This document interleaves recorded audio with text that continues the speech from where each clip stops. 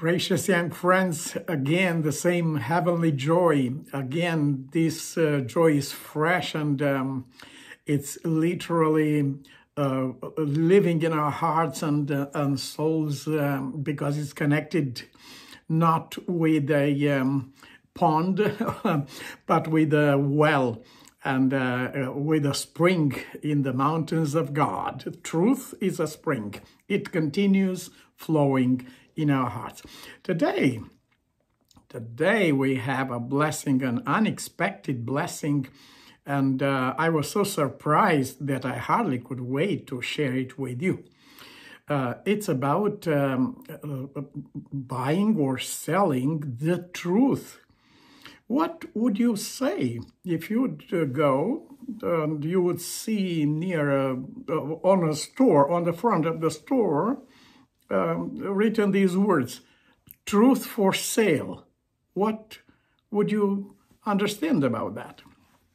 Well, it is uh, absolutely uh, a, a, deep concept. We will not have time to explore it in, uh, uh, I would say, a little larger in this presentation because of the short time. But I am so glad that I can submit to your attention and to your research this concept of buying and selling the truth.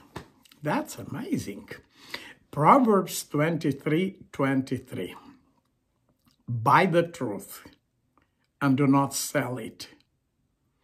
Wisdom, instruction or discipline, and insight or understanding good judgment, healthy judgment. Buy this, invest into this, says other translations, and treasure them very much. Make this one way. People buy and sell.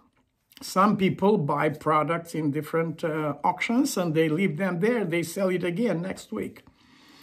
It, uh, this is not applicable to truth. Once you understood the value of truth, uh, once you decided to invest like for the pearl of great price, everything you have for truth, because you understood that truth is not a concept, uh, it's a person. Jesus said, I am the truth. When you uh, seek the truth and you invest in truth, you are investing in Jesus.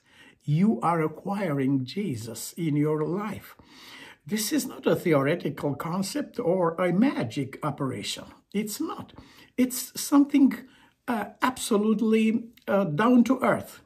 You search for truth, you find it, you understand its value, you invest in the truth, and then you guard the truth, you protect it in your life because um, the operation is not ready uh, once you bought the truth, it's not once forever.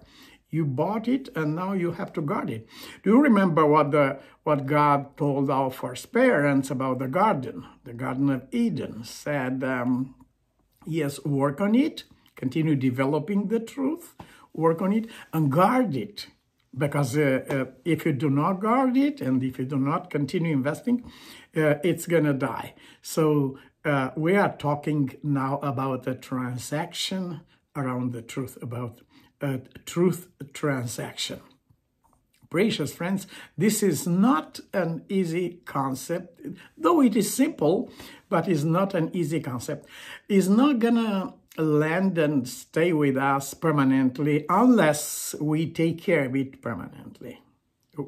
Uh, first of all, based on the fact that uh, truth is, uh, or Jesus is truth personified, truth in person, we declare to have the highest appreciation for truth. If this is true, and this is true, then no investment is too much for us in acquiring the truth. And no price ever uh, will be talked about or even taken into consideration for, for selling or abandoning the truth and exchanging it for a lie. I know we are tempted deep in our conscience, as Romans chapter 1 says, to suppress the truth in our conscience because we want to do evil. And The truth is screaming and crying against our own soul. Don't do that. Stop, stop, stop. And then, uh, because we are determined to do that evil, take that evil step, uh, and also we cannot deny the voice of truth in our conscience, we suppress it. Well, uh, it's, it's a, an absolutely bitter, absolutely bitter experience. The truth is described uh, like uh, we imagine these verses as um, uh, wisdom, instruction or discipline, and understanding. It is not enough to acquire truth. It needs pro processing. If you buy food and you don't eat it, you are going to starve, starve to death. Back in Romania, one of the rich people had a servant died, and they called the doctor for an autopsy. And the doctor said, um, yeah, he died. Why did he die? Because he had nothing in his stomach. Um, th then the rich man said, I told you he had nothing. He died just for nothing. But yeah, but you understand the, the sad, the tragic irony of the situation. It is not enough to acquire the truth. You need to process it. You need to feed yourself on the truth. You need to cultivate it. You need to transfer it to other people too, because in the process, you will not lose the truth when you transfer it. When you sell it for a lie, that's a different story. Or you literally go on the part of the of, of the lie um, based on profit. That's a different story. But when you transfer the truth, it's like a, a light, uh, like a candle lighting other candles. This candle doesn't lose anything by lighting other candles.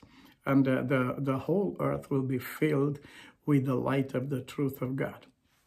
But what the Lord is telling us here, uh, it's, it's to be very careful about three things. First of all, uh, praying for understanding of the importance of truth help me understand how important truth is. Uh, in another presentation, we'll be talking about truth as medicine. Yeah, it's a good medicine for sleeping good, for smiling all your life. Truth. Lie. Lie, it's a poison that make you toss in your bed all night long because you're afraid maybe it will be found out tomorrow. It's a torture. Truth is medicine. That's why God is truth and he recommends truth to us. Uh, like one of the translations of the, of the Bible says, invest everything in truth. Invest everything and then guard it with jealousy. Don't, don't ever lose it. Buy the truth and sell it not. A truth, it's something of the highest value. As we mentioned before, it's Jesus who declared, I am the truth, and abandoning the truth or changing the truth is changing Jesus for something or somebody. Uh, uh, can you, uh, can you fathom what this kind of exchange would be for a person? What a disaster. We saw many people that made disastrous transactions in life, um, sold way underpriced, and then they were so sorry. Some of them committed suicide and and stuff like that. But uh, when it's about uh, selling the truth, it means betraying Jesus. Selling him, betraying him. What's left in this situation? Uh, the, the Bible said, do not even think on doing that. Uh, be careful because the the evil one has weapons against the truth that you just bought and you continue developing and you continue falling in love with truth. And uh, you feel the health and the joy uh, that truth brings uh, in our lives and be careful the evil one has weapons to fight against and uh, one of them it's uh, uh, the logic is it logic etc and um, dostoevsky said that if one day uh, you will come with a discovery, a logic discovery that Jesus never existed, and you will say, This is the truth. He said, uh, yeah, uh, I will let you with your truth and I will stay with Jesus because there, there cannot be a truth that denies the real truth. That's not truth. It's the opposite. Do not be reasoned out of the truth or laughed out of it. Be careful about that. Uh, this is a quotation I got from from a commentary.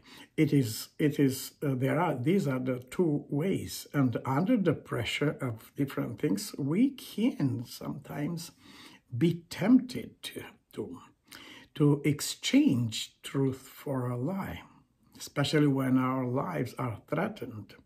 You remember Peter. You remember him. He had this moment of trying to protect his life it was not that he didn't believe in Jesus. He confessed, but uh, he was protecting his life because he didn't believe God can protect him.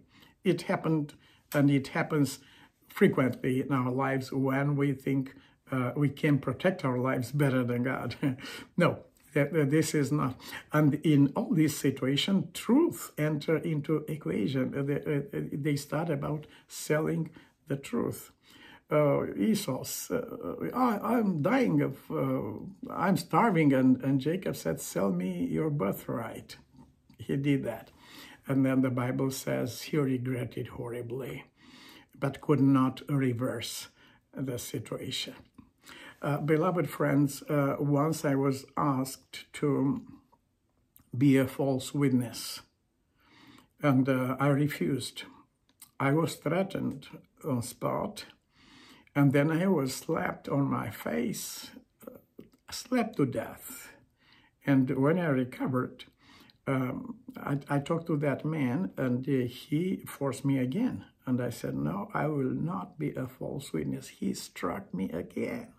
The second time, I almost lost my conscience. But how glad I am today, how glad I am today that I didn't accept that offer. He was offering. no, precious friends, uh, let's go back to our Bible verse buy the truth and do not sell it under any circumstances. I better sell my life than truth, which is Jesus. Wisdom, instruction, or discipline, and insight, or understanding, or healthy, good judgment.